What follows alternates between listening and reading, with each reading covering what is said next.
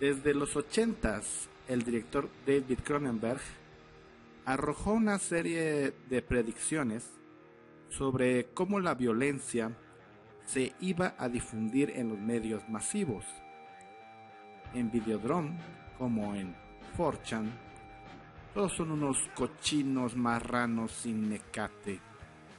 Aquí no existe el sentido de lo íntimo, la cercanía. Eso que algunos llaman amor. Este es el reino de los caballos desbocados. El deseo lo domina todo y aquellos que intentan controlarse son mucho peores que la enfermedad. Esto está mal, chico. Esto está muy mal. ¿Por qué no le cambiaste al canal? Corre. Las teles lo habitan todo. Son el centro de la vida de cualquiera que camina en estas calles. Incluso de quienes no figuran en la trama. La televisión es una especie de entidad inmanente, una nueva cruz sin rostro. Por doquier aparecen los condenados aparatos. Sin ellos, ni siquiera es posible pedir limosna. Pero no son cualquier tipo de televisores los que se aparecen en el filme. Estamos hablando de aparatos más específicos de otra época. Tal vez haya sido cosas de presupuesto. Se nota que desde el pasado alguien grita y nos golpea de frente. La novedad del televisor en casa durante los 50 transformado de compañero de la familia en deidad. Carne tártara que nos transmite todo en sus crudos formatos de antena, de conejo. Vengo de los noventas y créanme, nadie tenía claro la facilidad con la que gran parte de la humanidad vendrían a convertirse en creadores de contenidos en este momento subes una foto y con un par de efectos y música sin copyright a TikTok. Felicidades, ya eres parte del gremio. Listo para recibir tu placa rosa o la mierda que sea. Los sueños han cambiado, pero la ambición tal vez es la misma de siempre. Trascender, elevarse por sobre lo terrenal, conseguirse una nueva piel ser un dios entre los hombres. Eso es lo que busca Max Ren de forma inconsciente, el protagonista de Videodrome. Max es un gran depravado, administra un canal privado con mucho contenido lleno de azúcar y violencia, pero falta el azúcar. Convence a un hacker para que robe una señal satelital de lo que hoy se conoce como material para la dark web. Y aquí vemos constantemente un viejo fervor por lo satelital. Algo que se mantiene en internet con las promesas aún por ser bien cumplidas del servicio de Starlink, que seguro siguen sin ser tan eficaces en las partes que más vendrían a ser de utilidad pueblos montañosos y lugares de ese tipo. La naturaleza es la que se instala. Nuestros pies flotantes sobre pisos falsos nos engañan. Todo nuestro mundo se asienta sobre la tierra y los desastres sirven para que no lo olvidemos. Sin embargo, este sujeto se enferma con lo que encuentra. Todo ese material, ustedes saben, tan supuestamente común en la dark web, que ya ni siquiera es la gran cosa, hace que se extravíe, que se centre en buscar esas imágenes tan perversas, en encontrar su raíz. Max tiene relaciones frente al televisor y entonces es transportado al mundo del medio de comunicación, un medio que solo quiere transmitir fuerza, agresión, con el objetivo de generar placer. Sin embargo, estos personajes también disfrutan dentro del dolor, pero el disfrute les lleva a un cierto alivio. cuando ese dolor parece que se va desvaneciendo. O por otro lado, simplemente ese alivio es un momento para relajarse lo que realmente aprecian es la fuerza. Todo esto es en apariencia muy caótico, pero tal vez solo buscan aceptar un deseo interno por desaparecer y negar su propia capacidad de aceptar la existencia. Parece que lo primero en sentirse el dolor, si es que nos guiamos por esta secuencia de eventos. Pero ¿qué es lo que buscan estos desgraciados? ¿Únicamente placer? ¿Hay algo más? Se trata de un proceso que excita a lo psicológico. El deseo mezclado con dolor. Dominación con sumisión. Todo parece ser una búsqueda por sentirse vivo o por dejar de vivir, por dejar de temer al dolor, generando o buscando dolor de forma propia y controlada en el mejor de los casos, en vez de ser simplemente una víctima en el mundo de afuera. Todo lo que sucede mientras están en la cama será un viaje, una posesión.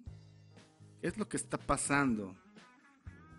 Es sorprendente, pero en general se está creando tanta tecnología.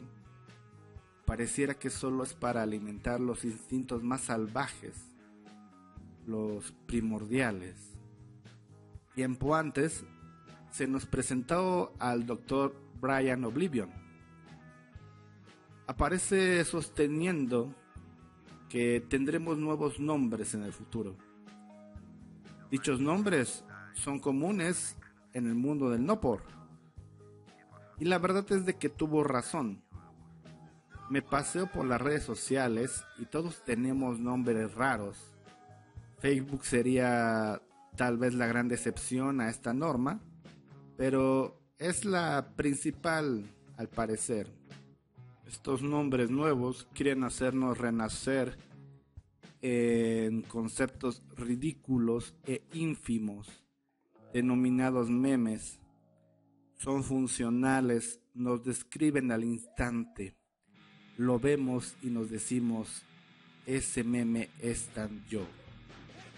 Claro, existen muchas historias para los nombres raros y absurdos que los streamers no quieren y muchas veces no pueden pronunciar. Pero todo esto para qué? Es algo como tatuaje formas de construirse una identidad. Es algo que a diferencia de lo impuesto por nuestros padres, es propio. Tú lo elegiste y tus amigos así te van a nombrar. Pero nada, todo es insuficiente. Tanta gente que no para de hacerse multicuentas, aunque sea para ocultar sus malos pasos en redes sociales, por VRChat, Discord y en streams, las personas se encuentran construyendo nuevos nombres a cada momento, pero dichas personalidades nacen al interior de entramados tejidos por las mismas corporaciones, que buscan guiar nuestro pensar hacia el camino del margen de ganancias más amplio. ¿Acaso las redes sociales nos hacen lo mismo que a Max? Nos están programando pero para romper qué cosa. O nosotros mismos somos aquello que debe ser quebrado. Tal vez buscan retardar nuestro acceso a la nueva carne. Algunas opciones serían acabar con esta prisión corporativa e iniciar de nuevo, justo como en el final de Don't Hug Me, I'm Scared. ¿Podría ser? Pero al final las marionetas no logran salir de ningún lado. La serie forma parte de YouTube, una prisión más. Tal vez no tenemos que escapar hacia ninguna tierra utópica y mejor retornar y retomar todo aquello que fue robado. Volver a empezar. Y mientras nosotros soñamos, Max sigue de morboso. Videodrome es un filme con sus buenos años. Nos habla de los tiempos del cable por satélite y al inicio parece topar con el cliché de que lo podrido se encuentra en el tercer mundo. Pero luego se aclara que la señal perversa de Videodrome, la que contiene los videos yanga yangas, se encuentra cercana a la ciudad de Max. Lo podrido se encuentra por dentro y por fuera. Lo siniestro se nos asoma porque es nuestra misma casa el origen del mal.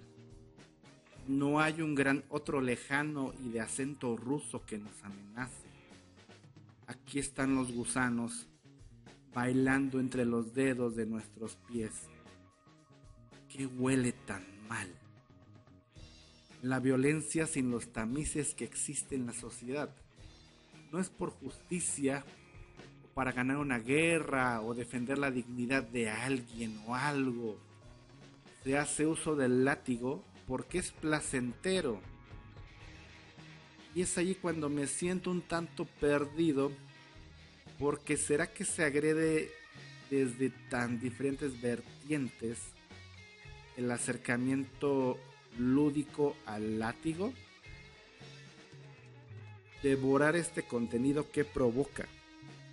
¿Se está cayendo en el moralismo católico? El argumento es que todo esto te puede hacer insensible y que enojado encarnarías la violencia como tal. Y entonces lleno de imágenes y odio, terminarías cometiendo crímenes con aroma a pólvora. Lo cual, especialmente si te encuentras en Estados Unidos, pues bueno, hay cifras que son alarmantes. Pero en Videodrome se encuentra la raíz del problema. ¿Qué tanto nos separamos al final del día de un personaje tan banal como Max? Los videos de a poco le van comiendo la cabeza a este tipo, hasta transformarlo en una máquina lista para ser controlado. El pato Donald estaría orgulloso. La hija del creador de Videodrome le ayuda y le lleva a un nuevo sendero. Destruir a quienes le dominaron y avanzar por el camino de la nueva carne. Larga vida a las nuevas tecnologías de la comunicación. Que viva la telesecundaria. Aquello que rompe la unión ciega de Max con Videodrome, aquello que le permite resarcir sus vínculos, es un crimen que duele, sangre y desolación. Una pérdida que le hace recuperar su conciencia, un despertar a través de la ideología. Max fue previamente señalado por carecer de ella en un primer lugar, por no tener una visión propia y bien definida sobre las cosas. Luego de romper el trance, por fin se alza como un hombre con una búsqueda, aplastar a quienes quisieron controlarlo y entrar de lleno al mundo de los medios. Dejar que la vieja carne que lleva puesta, la que le permite moverse, respirar, vivir, se desvanezca entre pólvora y alaridos. ¿Qué era Videodrome como tal? Pues en resumen sería mucha violencia por la tele que te ponía bien alucinante. El muro del dolor de la habitación roja con las marcas de toda la gente torturada, sus manos, sus huellas como decoración y el televisor viejo siendo latillado, es todo un rechazo al pasado en forma aparente. Hablan de violencia y de cómo se puede conectar con la espina dorsal para generar locuras al azar, dominar tu mente y generarte alucinaciones psicotrópicas que te permitan ser manejado como una marioneta. Los conspiradores que engañan a Max también quieren proteger algo, pero lo hacen todo de una forma tramposa. y no pueden impedir la llegada de una nueva carne. Max se lanza al ataque con los pendientes resueltos, ahora le toca seguir trascendiendo.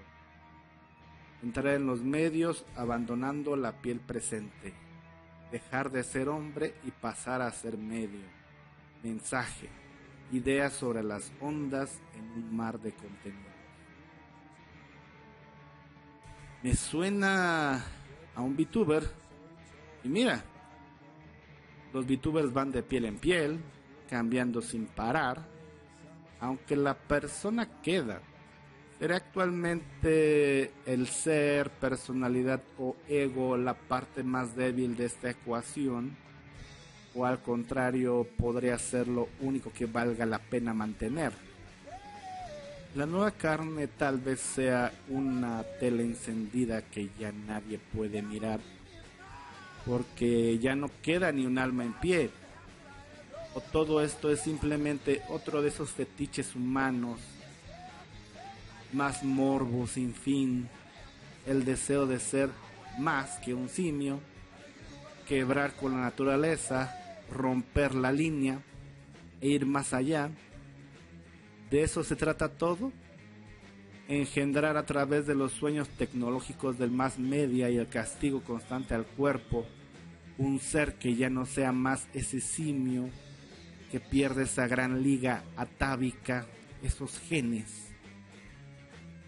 Pero nosotros somos ese chango y de momento no se está haciendo otra cosa que flagelar nuestra propia piel de forma innecesaria. O sea, la violencia en sí misma parece ser absurda de origen. Entonces todo esto Videodrome es una simple lección moral, una linda lección y ya.